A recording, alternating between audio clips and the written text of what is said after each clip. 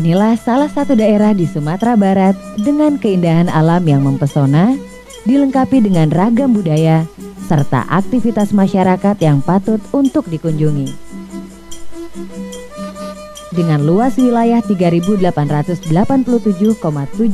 km persegi, Pasaman Barat, Kabupaten di ujung utara Provinsi Sumatera Barat ini tidak saja daerah yang kaya dengan perkebunan kelapa sawit seperti yang selama ini dikenal, namun juga memiliki potensi pariwisata yang tidak kalah dengan daerah lain. Pasaman Barat memiliki banyak objek wisata mulai dari wisata alam, wisata bahari, sampai wisata sejarah dan budaya.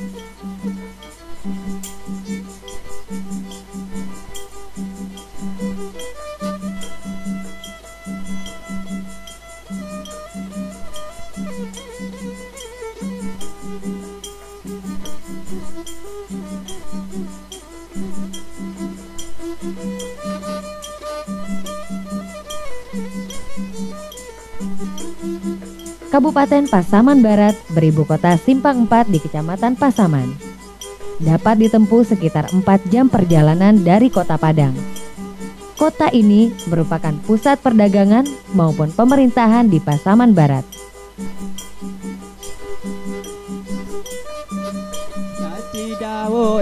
ọba bẹ dọ ananti da wọ.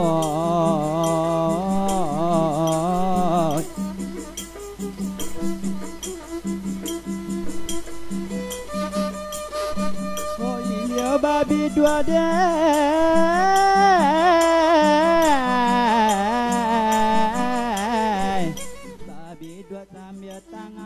Kabupaten Pasaman Barat merupakan daerah datar dan bergelombang dihiasi dengan hamparan bukit barisan serta gunung-gunung yang indah dan menantang penambah keindahan ranah kabupaten yang berbatasan langsung dengan Provinsi Sumatera Utara ini.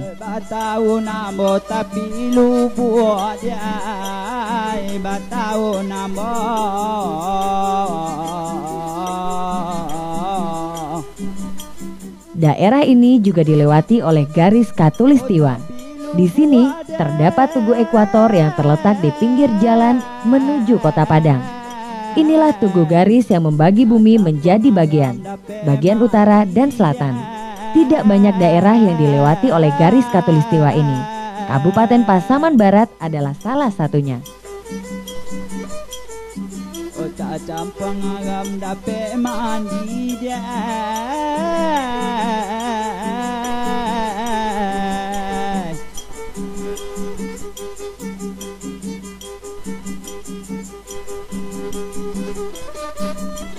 Ubue dan sangko katitian. Ubue dan sangko.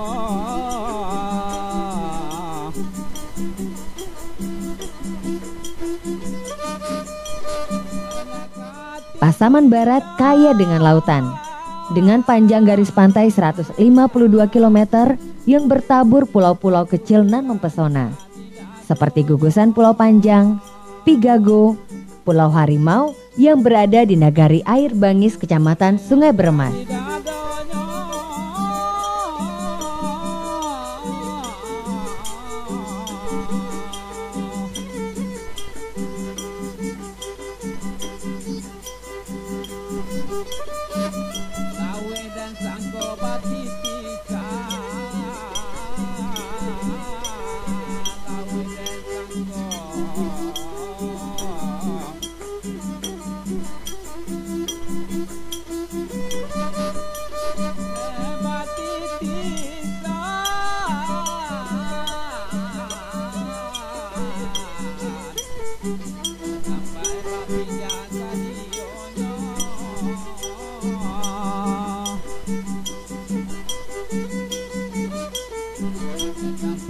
Air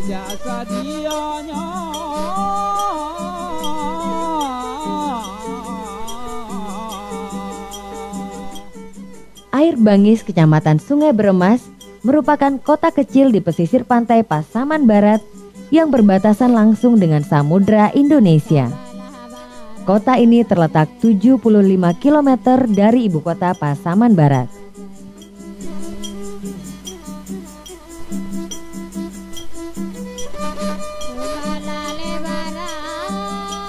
Kota kecil ini sangat bersahaja. Masyarakatnya masih menjaga keaslian dan keasrian daerah mereka. Sepeda menjadi sarana transportasi utama masyarakatnya. Mulai dari anak sekolah sampai orang dewasa senang bersepeda. Masih jauh dari polusi asap kendaraan bermotor.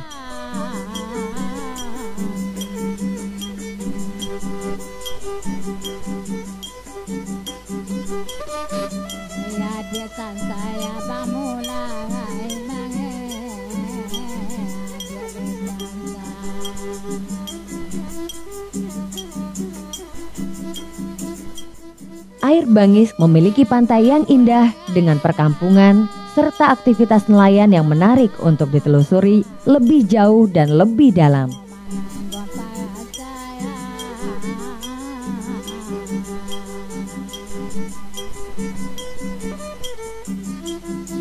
Terdapat pusat pembuatan ikan kering di Kampung Padang yang mendukung perekonomian masyarakat.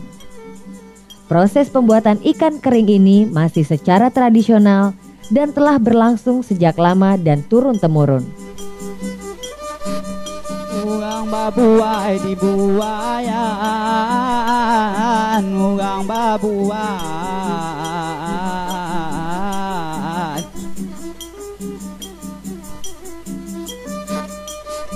Oh di buayan.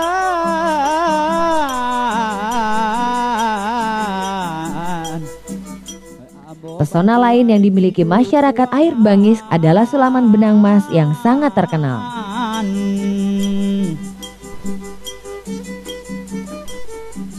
Abo babuai di dukuangan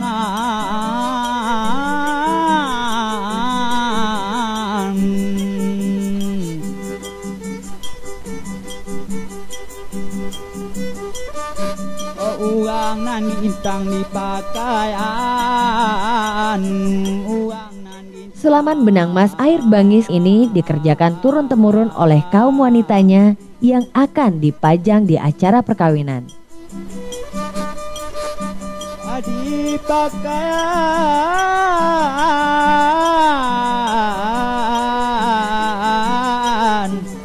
Amo di seso paruntuangan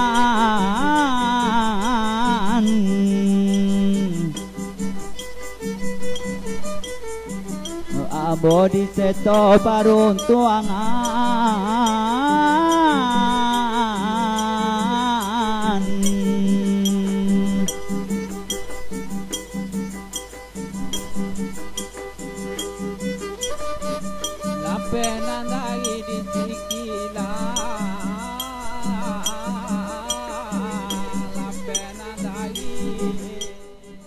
Daerah ini pada zaman kolonial Belanda juga berperan cukup vital. Terbukti dengan adanya rumah bekas peristirahatan Belanda yang kini dijadikan sebagai mes Pemda dengan arsitektur Eropa yang masih terjaga.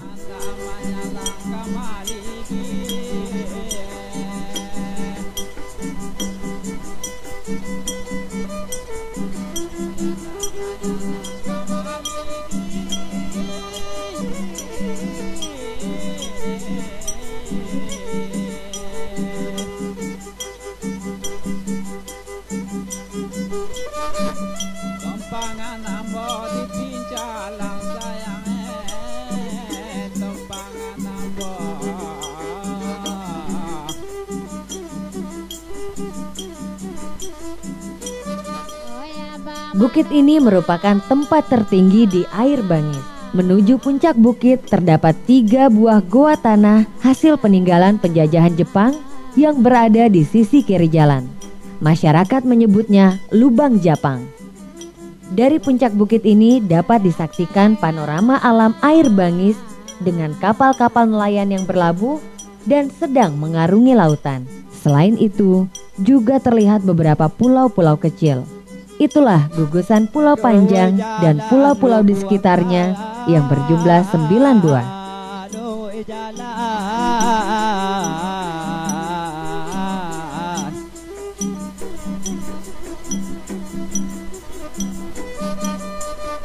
Oh, lupa Mencapai pulau-pulau tersebut dapat ditempuh dengan menggunakan kapal penumpang serta kapal sewaan yang bersandar di pelabuhan Air Bangis. Inilah pelabuhan Air Bangis.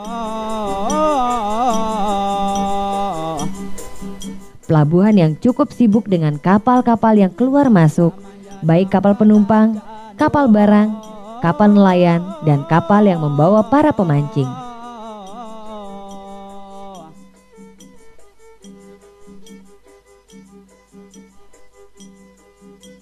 Dahulunya, pelabuhan ini menjadi pelabuhan yang cukup penting di pantai barat Sumatera.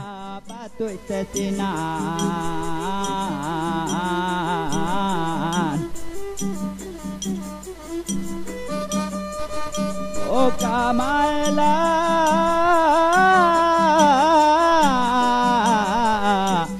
Bantai bagaso kamanga do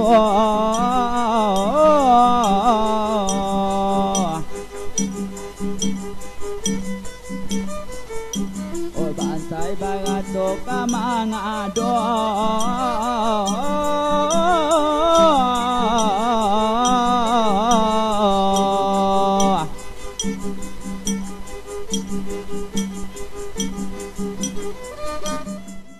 Dari pelabuhan inilah perjalanan mengarungi wisata bahari air bangis dimulai.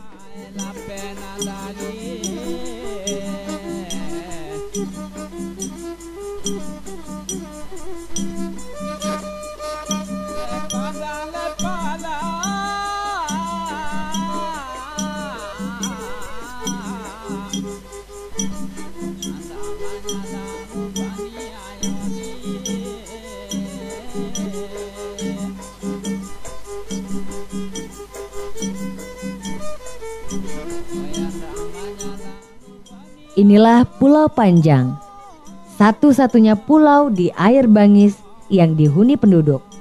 Di Pulau Panjang terdapat satu buah hangar dan rumah peristirahatan untuk para tamu yang datang.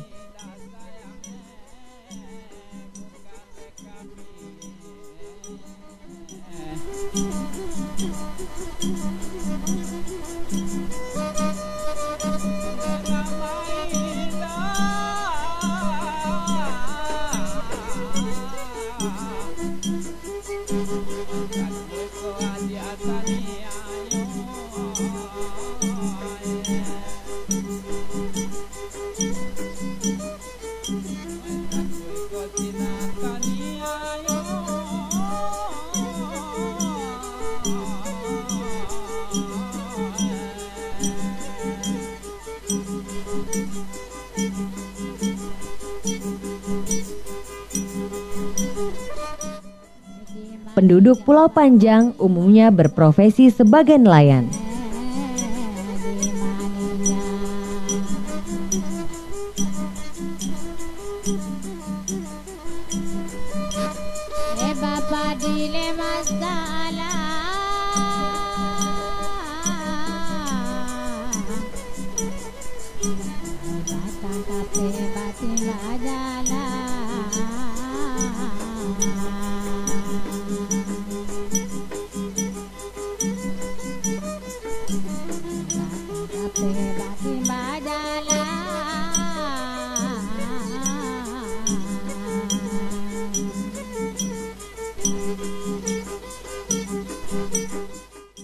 Pulau Panjang juga dapat disaksikan bagaimana masyarakat membuat bagan dan kapal.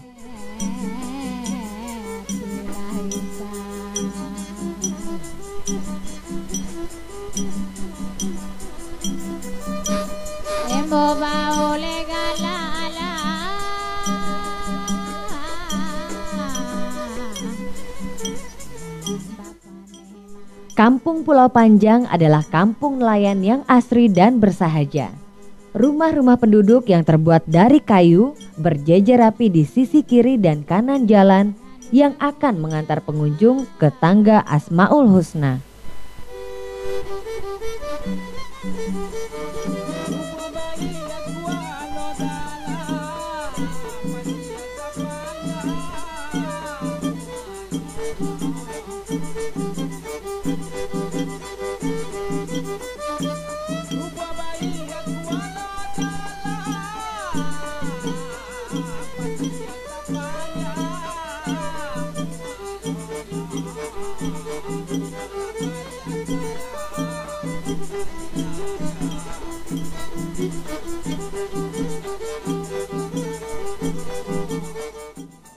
Tangga Asmaul Husna adalah tangga menuju puncak Pulau Panjang yang berjumlah 99 buah anak tangga.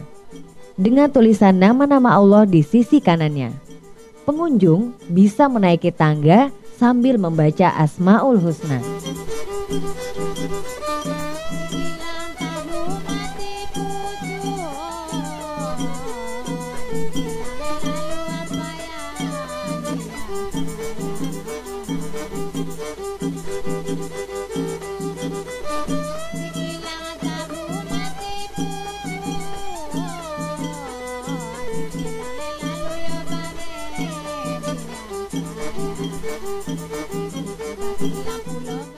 Masyarakat Pulau Panjang masih menjaga nilai-nilai tradisinya.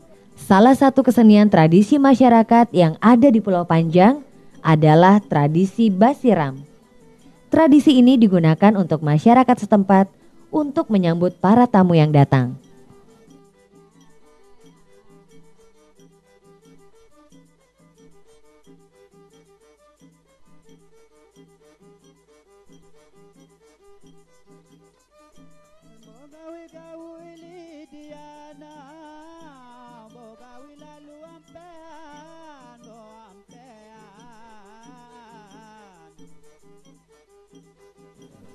Perjalanan mengarungi wisata Ayebangi tak hanya Pulau Panjang saja. Masih terdapat 8 pulau lagi di sekitarnya, yaitu Pulau Pigago, Pulau Harimau, Pulau Pangkal, Pulau Unggeh, Pulau Ular, Pulau Tamiang, Pulau Kelapa, Pulau Telur yang memiliki keunikan dan keunggulan masing-masing. Perjalanan menuju pulau-pulau di sekitar Pulau Panjang adalah petualangan yang menantang dan mengasihkan. Selama perjalanan dapat disaksikan kapal-kapal nelayan memburu hasil tangkapannya. Di sekitar kawasan ini juga tengah dibangun pelabuhan internasional Teluk Tapang. Nantinya akan menjadi pelabuhan terbesar di Sumatera Barat. Pulau yang tampak ini adalah Pulau Pigago. Pulau ini memiliki pantai pasir putih yang indah.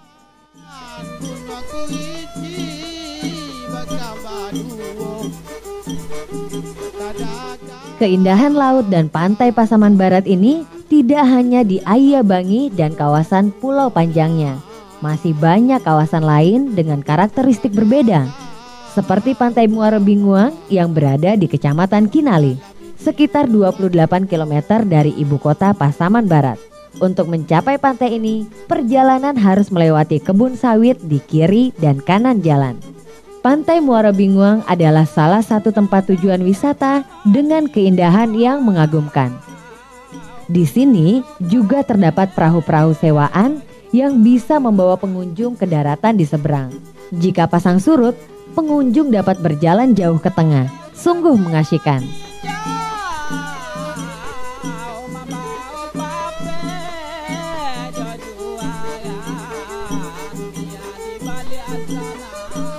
Selanjutnya adalah Pantai Sasa yang terletak di Kecamatan Sasak Ranah Pasisie sekitar 18 km dari Simpang 4 karena keindahan pantainya yang berpasir putih dan bersih.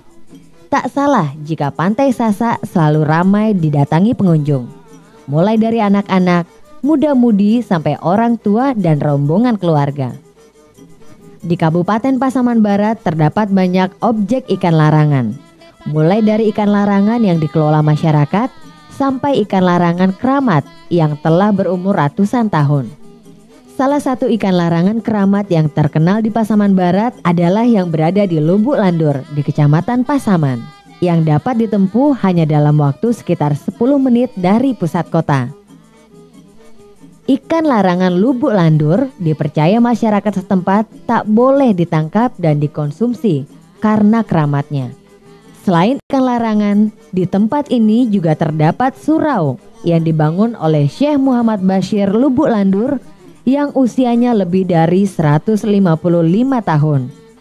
Objek wisata religius ini ramai didatangi pengunjung. Para pengunjung bisa memberi makan ikan dengan makanan yang telah disiapkan oleh para pedagang yang ada di pinggir sungai di mana ikan itu berada. Kontur topografi Kabupaten Pasaman Barat juga dihiasi dengan gunung-gunung hutan hujan tropis yang menarik untuk didaki dan menjadi petualangan yang seru.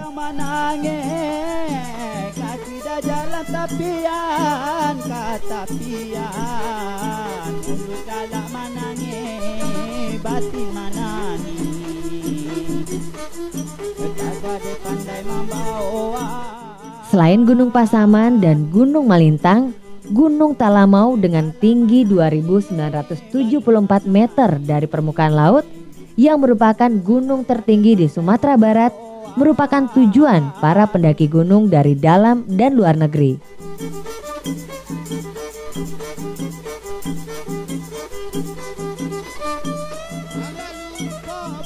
Keaslian hutan merupakan daya tarik Gunung Talamau selain 13 buah telaga yang ada di atasnya. Desa Pinagar di Kecamatan Kinali adalah pintu masuk untuk mendaki gunung ini.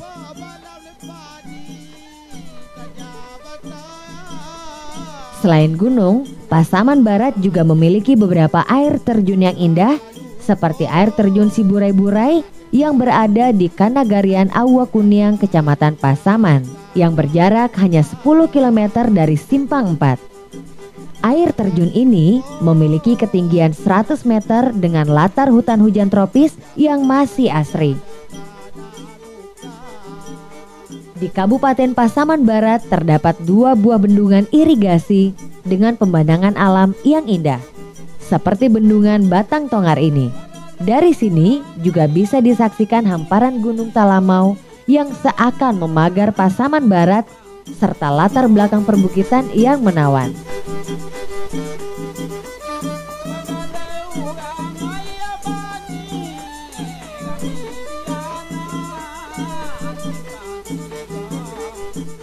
Selain alamnya yang elok serta ragam aktivitas masyarakatnya, Kabupaten Pasaman juga diperkaya dengan keanekaragaman budaya. Banyak kesenian khas yang spesifik di daerah ini. Sebut saja tari pilin salapan, gondang sambilan, reok, serta ronggeng Pasaman.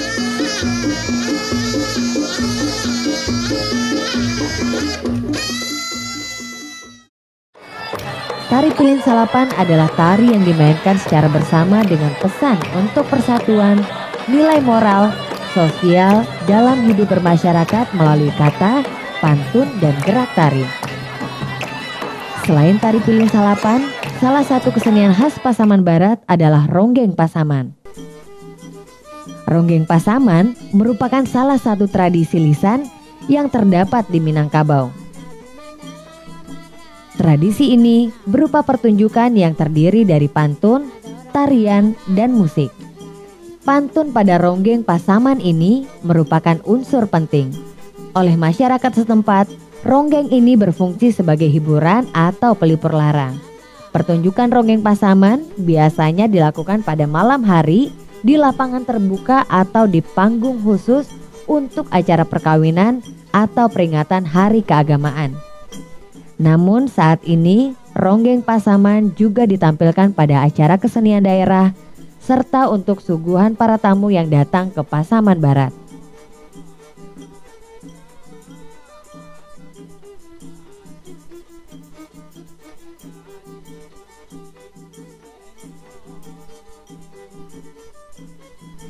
Perkampungan dengan rumah-rumah kayu yang masih terjaga keasliannya ini adalah perkampungan tradisional Minangkabau di Nagari Kajai, sekitar 10 km dari Simpang 4. Perkampungan tua ini adalah cikal bakal berdirinya adat Minangkabau di Pasaman. Masyarakat di perkampungan tradisional ini masih menjaga nilai-nilai leluhurnya. Bidang pertanian masih mendominasi perekonomian masyarakat. Di tengah perkampungan tradisional Kajai ini, terdapat dua buah rangkiang dan rumah gadang seperti halnya rumah gadang di Minangkabau. Kabupaten Pasaman Barat memang penuh pesona. Selain objek yang sudah dipaparkan tadi, masih terdapat banyak objek lain yang harus dikunjungi dan dinikmati keindahan dan pesonanya. Seperti Pantai Sikabau di Koto Balingka, Pantai Sikilang di Sungai Awa, Pantai Maligi di Sasak Ranah Pasisia, Pantai Katiagan di Kinali, Danau Indah di Koto Balingka, Gunung Batu di Lembah Malintang, Goa Ampung Guo, dan Bendungan Batang Kanaikan di Gunung Tuleh, air terjun Simpang Panco di Kinali, pemandian air panas, serta Goa Jepang di Talamau.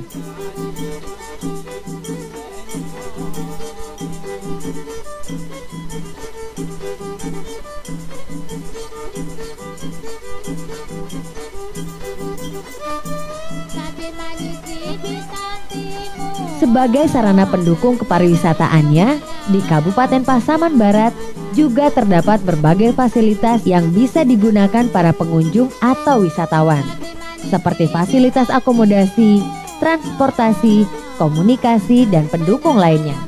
Sehingga para wisatawan yang datang berkunjung ke daerah ini dan meninggalkan kesan mendalam yang sukar dilupakan.